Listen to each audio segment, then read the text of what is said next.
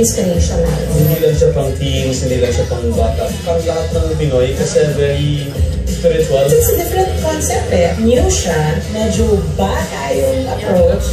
Kasi siya may same partner. Mas kaya parang una kong nabasa yung script, sabi ko talaga, wow, this is so new. You see your relationship with God through social media.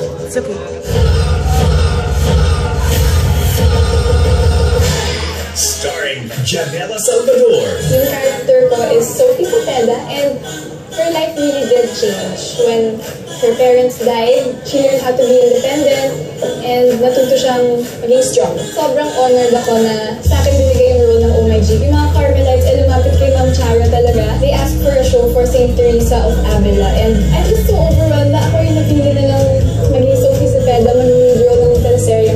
together with a fresh ensemble of veteran actors and young celebrities. I play Paul Cepeda, Sophie Cepeda's uh, father. Yung aming relationship ng anak ko, medyo na-strain kasi nga, nung uh, nawala sa akin yung asawa ko, kumbaga parang medyo napabayaan ko siya. Ako po si Santino Santiago. Ang tawag po sa akin ng aking pamilya ay uh, Santi. Ang asawa ko si Lucy na pinoportray ko ni Sunshine Cruz. Ako yung uh, kapatid ng mommy ni Janela, ni Sophie, kami ng aking asawa, ang magiging guardian. At medyo magbibigay kami ng sakit ng ulo kay Sophie dito. Ako si Hazel. Uh, I'll be playing the role of Miley Santiago, ang anak ni Lucy Santiago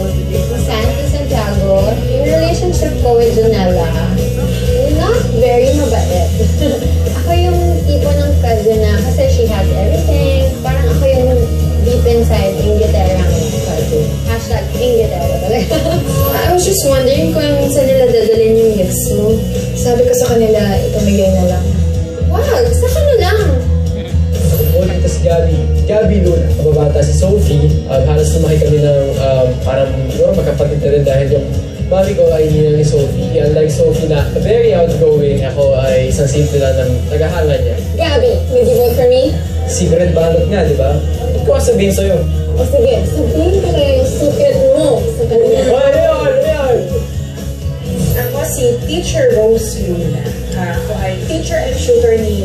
ni Sophie. Mami rin ako ni Gabi.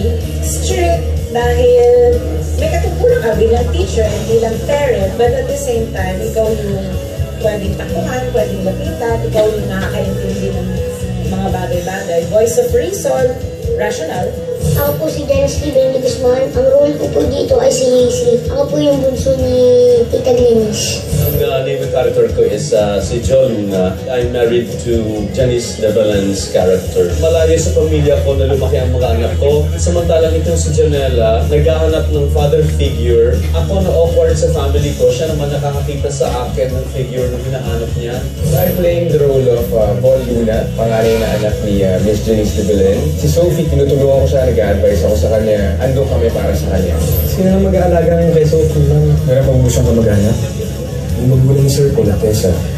Hindi po ba parang wala na rin?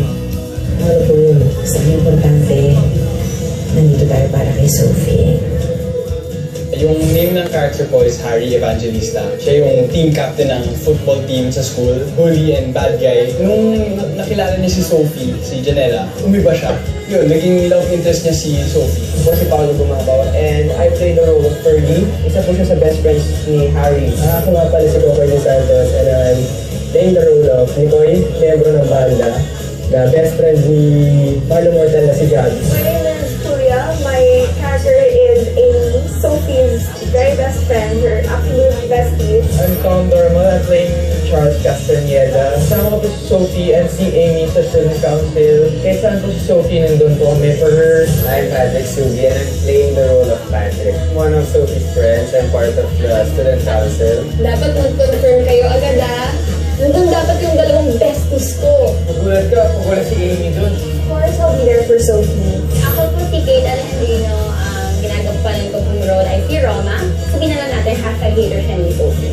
Uh, hi, I'm Lian Valentin. And I'm one of Sophie's hashtag crashers. Hi, I'm Veronica Reyes. Hashtag Queen Alarm. And hashtag Roma's Army.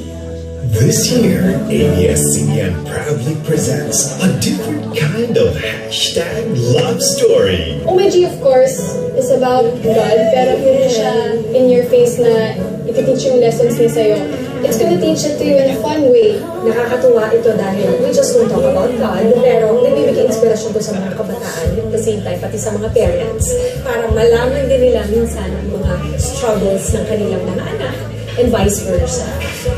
Mapakita lahat dito ng OMG kung anong klaseng teenagers ang meron ngayon at kung paano natin sila aalagaan at gagamayan. I'm sure na a lot of teenagers will watch this. Makakapulot sila ng maraming lessons.